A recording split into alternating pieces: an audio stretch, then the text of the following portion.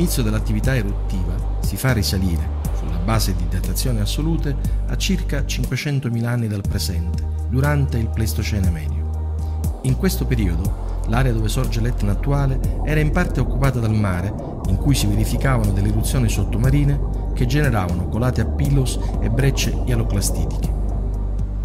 In seguito, il graduale sollevamento della costa della Sicilia orientale ha causato il ritiro del mare quindi l'inizio di un'attività eruttiva di tipo subaereo. Le più antiche colate laviche subaeree hanno un'età di circa 320.000 anni e costituiscono un vasto espandimento tabulare che si estende lungo la valle del fiume Simeto.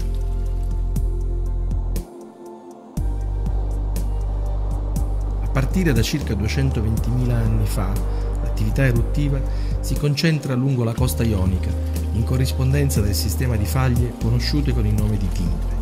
Durante questa fase si verificarono numerose eruzioni fusive da fessure lineari, localizzate in questa ristretta fascia.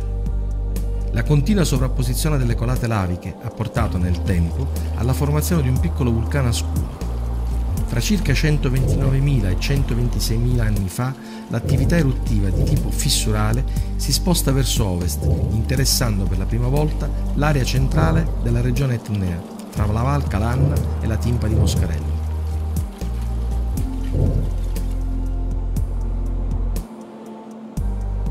Circa 110.000 anni fa, l'attività eruttiva si sposta verso l'area adesso occupata dalla depressione della Valle del Bo. In questo periodo si passerà gradualmente ad un'attività di tipo centrale, caratterizzata sia da eruzioni fusive che esplosive.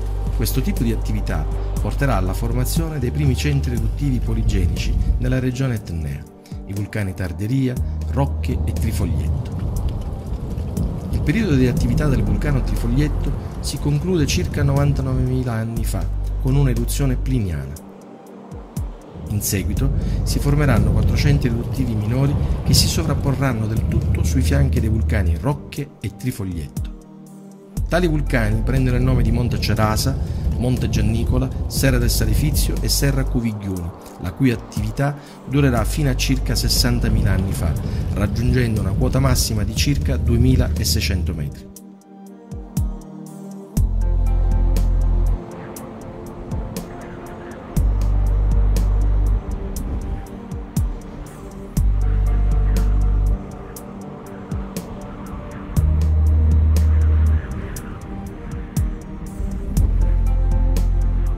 Questa fase inizia circa 57.000 anni fa, quando si verifica un ulteriore spostamento dell'attività eruttiva verso nord-ovest dopo la fine dell'attività dei centri della Valle del Po. Tale spostamento porterà alla formazione del più grosso centro eruttivo che costituisce la struttura principale del monte Etna, il vulcano ellittico. Esso fu caratterizzato da un'intensa attività sia effusiva che esplosiva che nel tempo ha costruito un imponente strato cono poligenico che raggiunse una quota massima di circa 3600 metri. L'attività eruttiva dell'ellittico termina circa 15.000 anni fa, durante un'intensa fase esplosiva, caratterizzata da una serie di eruzioni pliniane, che hanno causato la formazione di una caldera e di una serie di depositi piroclastici ampiamente distribuiti sui fianchi dell'Etna.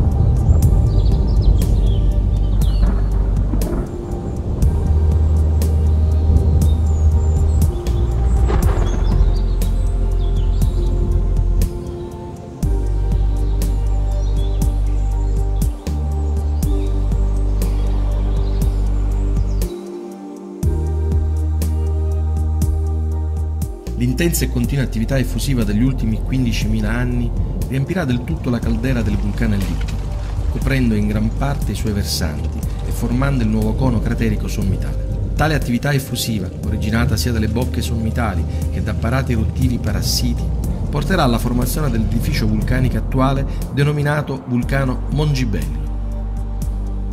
Circa 9000 anni fa, una porzione del versante orientale del vulcano Mongibello fu soggetta ad una serie di grosse frane che hanno portato alla formazione dell'ampia depressione della valle del Bove.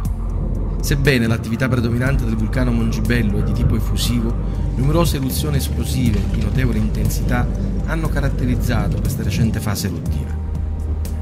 In particolare, l'eruzione esplosiva più intensa si è verificata in epoca storica, nel 122 a.C.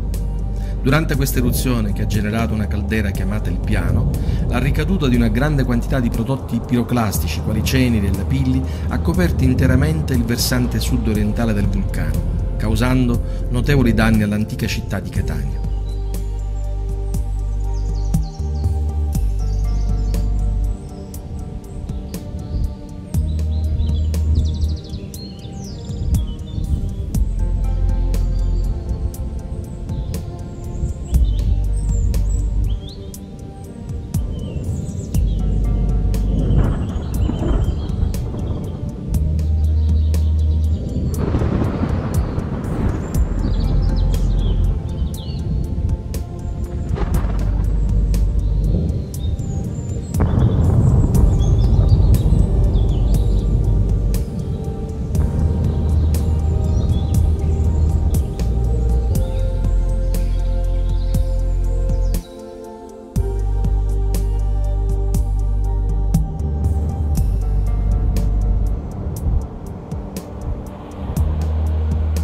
Grande cratere del piano, generatosi in seguito all'evento piriniano del 122 a.C., produsse la base su cui si edificò l'Etna, che, attraverso una plurimillenaria attività, è giunta sino ai nostri giorni.